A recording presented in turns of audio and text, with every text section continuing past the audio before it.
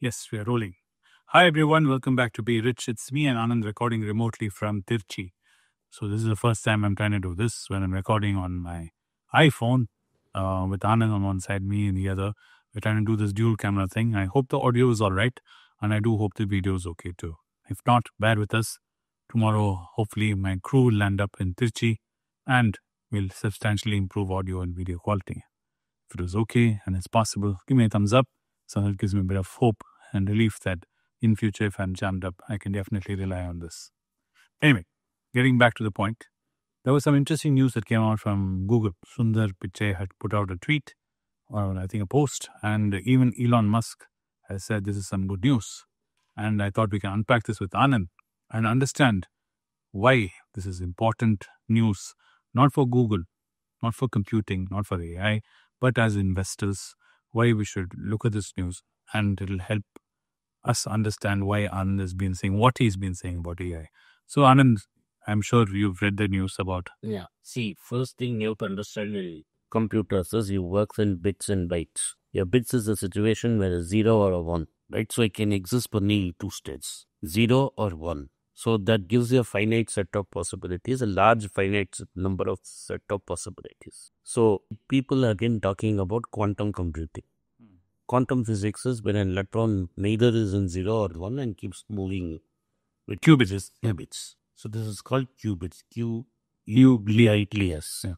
These qubits people have been trying to master and put it into computing. They have not succeeded in peak day because information is scrambled. You have to understand how it is scrambled and unscramble it. And normally this has been error. Now Google has called its quantum computing chip called as Video. Yes. Now what they claim in a paper is that they have a 105 qubit Processor. processor which can process data 13,000 times faster than the Superclock. fastest known supercomputer. What is AI? AI is scraping large amounts of data, processing it, and giving it to you in a flash. Imagine a computer which is able to do it 30,000 times faster than what it can do Correct. Currently. currently. Like it's like if you open a bottle, mouth to drink water, you can open only as large as you can. Imagine, and it is 15 or 20 whales together opening the mouth to Correct. Yeah. not one whale. Yeah. 15 to 20 whales mouth. A whale the size of 15 times opening its mouth.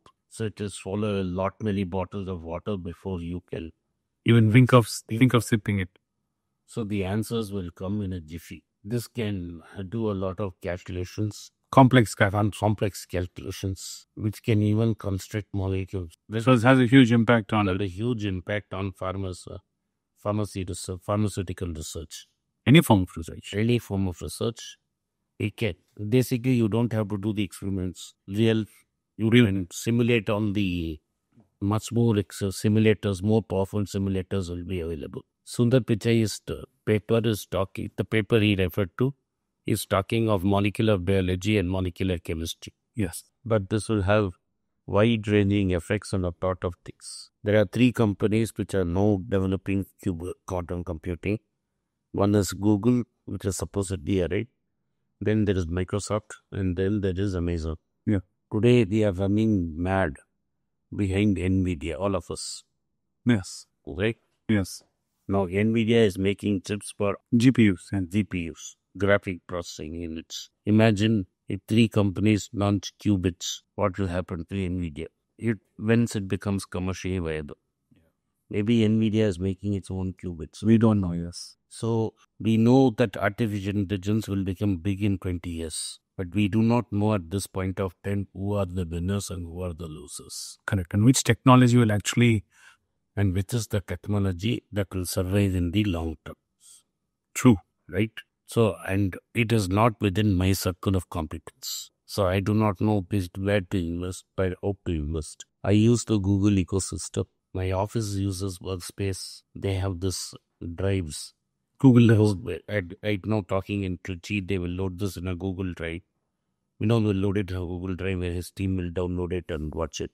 I use Google Search. I use Google Maps. We use YouTube. In we run the entire organization on YouTube.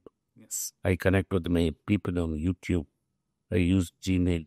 So I, I understand the Google ecosystem. And when there was bad news, I put money in Google because I'm using it daily. We use the AdSense also. Yes. So we are using Google daily. I'm not buying a promise of the future. I'm buying the present. Correct. The earnings today, the cash flow of today. Similarly, I use Amazon to order a lot of books. My wife uses Amazon for shopping. I'm in the Amazon sister. If the price corrects, I'll buy an Amazon product share, not at today's valuation. Same thing is true for Microsoft. Same thing is true for Microsoft. My nephew used to love playing with Xbox. I have used Windows and Windows Explorer before Google. Everybody uses MS Office, Excel, and Photoshop. So I understand Google. I understand Microsoft. People you talk about SQL. So we understand the Microsoft system. That unfortunately, and it so happens that Microsoft is the winner, I would also like to own Microsoft. Price cut. Fortunately, Microsoft is too costly today, and I have not had the window of opportunity to buy Microsoft. The other one is Apple through Berkshire. I own a small portion of Apple. So, and I have bought Apple many years ago. So, basically, what we are doing is hedging our bets. If I own Google, Amazon, Microsoft, and Apple, surely one of them is going to hit a Home run when it comes to with VA. And both Amazon and Google have already deployed their chips, some of their chips with Anthropic. In. Incidentally, Anthropic and Google announced the deal, Yes. which I was referring to you sometime that Yeah. the deal is worth $50 billion. Yeah. A few days back we spoke about it. Anthropic is a, a group of people who have left OpenAI about a year or two back and started a business. And it's the fastest growing AI company. Yes. But nobody talks about Anthropic. If I own Microsoft, I own you, OpenAI.